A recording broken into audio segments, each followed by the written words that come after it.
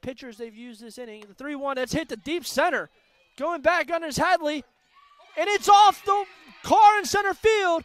And it's a three run home run for Mia Arndt, her second of the season, and she keeps on slugging.